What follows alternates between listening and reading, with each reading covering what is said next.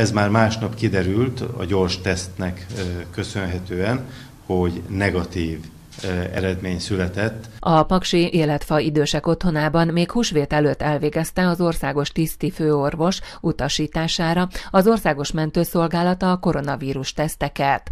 Mind a 86 gondozotté negatív lett. Hangzott el a Városházán tartott sajtótájékoztatón, melyen Szabó Péter köszönetét fejezte ki az ott dolgozóknak.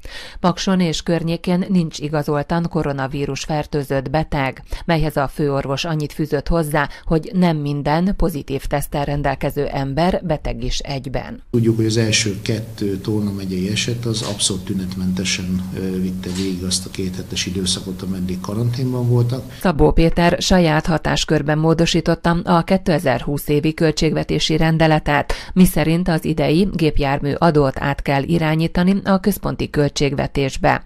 Ez 81 millió forintot jelent Pakson.